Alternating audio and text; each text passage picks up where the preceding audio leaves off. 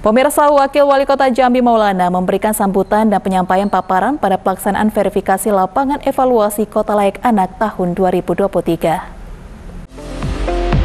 Senin 29 Mei 2023, Wakil Wali Kota Jambi Maulana memberikan sambutan dan penyampaian paparan pada pelaksanaan verifikasi lapangan evaluasi Kota Layak Anak tahun 2023. Kegiatan ini turut juga dihadiri Kepala Dinas DPMPPA Kota Jambi Noverentiwi dan Kepala Bapeda Kota Jambi Suhendri. Dalam paparannya, Maulana mengatakan ini merupakan penilaian kota layak anak yang dilakukan oleh Kementerian Pemberdayaan dari pusat. Penilaian ini berdurasi kurang lebih tiga jam untuk melakukan verifikasi dan validasi terhadap data yang sudah dikirim.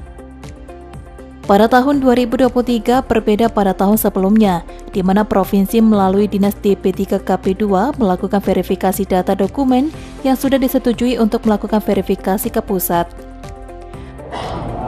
Hadir melakukan uh, verifikasi lapangan atas penilaian kekayaan yang dilakukan oleh Kementerian uh, Pemberdayaan Perempuan dari pusat ada timnya dan hari ini kurang lebih tiga jam kami melakukan eh, validasi dan verifikasi terhadap data yang sudah kirim.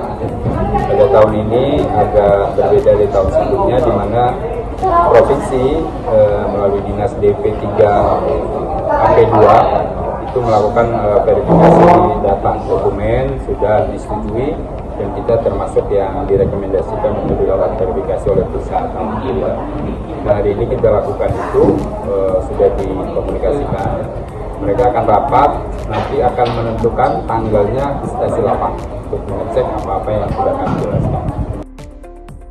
Maulana juga berterima kasih kepada Forum Anak Angso Duo yang juga diverifikasi secara rahasia sehingga orang lain tidak bisa mendengar apa yang dibicarakan oleh tim juri yang bertujuan untuk menjaga objektivitas. Heru Putra, Cik TV, melaporkan.